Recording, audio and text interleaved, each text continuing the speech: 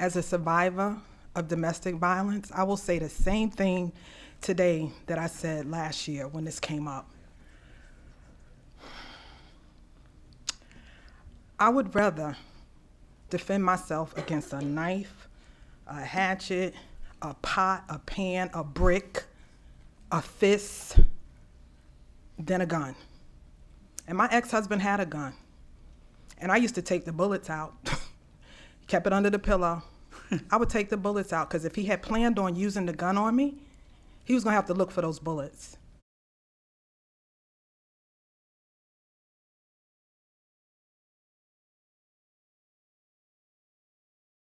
And as a survivor, I mean, I don't think that people that have not experienced this understand the trauma that you go through day in and day out when you're dealing with someone that is capable of causing you bodily harm. And he did in the end.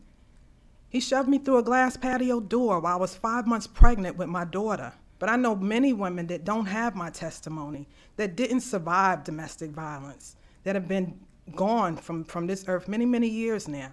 I thank God my daughter survived, born one pound, 11 ounces, 10% chance of living due to domestic violence. Being a person that has gone through it, I would rather be dealing with fighting for my life with any instrument except for a gun, because I don't stand a chance against a loaded gun.